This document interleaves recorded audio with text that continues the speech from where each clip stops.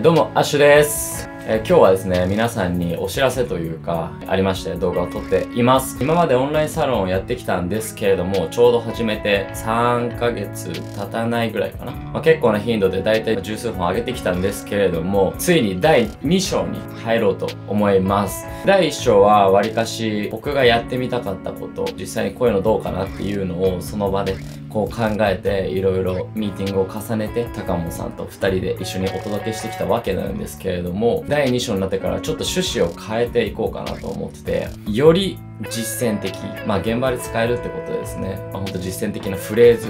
をメインに置いてお届けしようかなと思っていますなんで結構正直難しい話も出てくると思います。で、僕の場合はギターのフレーズ、このフレーズがかっこいいからここに入れてみよう。でどうかっこいいでしょうっていうスタイルっていうよりかは基本的にフレーズ的には正直難しいことはもうほぼほぼしていないんですね。でさらにもっと深いところの話になってきます第2章は、えー、どういうことかっていうと普段僕結構話してるんですけどそのギターを弾く音に乗せる、まあ、そのセッションで、えー、他のミュージシャンたちと、まあ、ギタリストベーシストドラマ何でもいいんですけどセッションする時に僕が考えてるそのマインド僕にとっては結構その音楽とかギターっていうのはもう体の一部だし会話するのと一緒なんですね。例えばそのよく僕言いますけど、えー、ありがとうっていう時に声のトーン結構低くて目も合わせてなくてありがとうっていう風に言ったらすごいそのありがとうっていう持つ意味が結構半減されるっていう僕の中のイメージ思っててでもちゃんと目を見て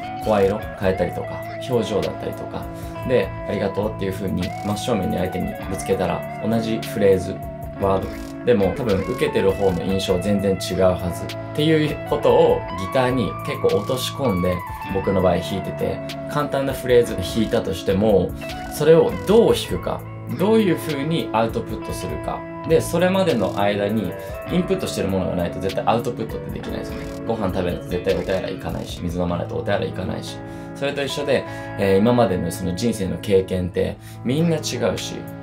だから僕がやるフレーズでまんま同じことをやらなくていいと思ってます。でそれは何でかって言ったらみんな生きてきた道が絶対違うしいいことも悪いこともいっぱいみんな経験してるはず。それが糧になって自分の音に絶対なるんでそれをアウトプットするためにはどういうことを考えてどういうことを意識して普段のフレーズを弾いているか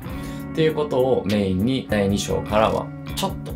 ちょっとっていうかガラッとチェンジしてやっていきたいと思います。まあ本来僕がやりたかったのってこのぐらい結構踏み込んだ内容だったんで楽しめる方は楽しめると思うんですけど他ではこれこそまさにやってないというかやれない感じだと思うんですよね。僕だから出せるコンテンツをやっぱり出したいなっていうのを思ってたんでまあこのまず3ヶ月実際にオンラインサロンやってみて思ったこと考えたことやってみてダメだったこと、良かったことを全部含めて、その第2章に入ろうと思います。なので、ぜひぜひ楽しみにしていてください。ありがとうございました。アッシュでした。バイバイ。皆さんこんにちは動画最後まで見てくれてありがとうございますアッシュです、えー、コメント高評価チャンネル登録よろしくお願いいたしますそれではまた会いましょうバイバイアッシュでした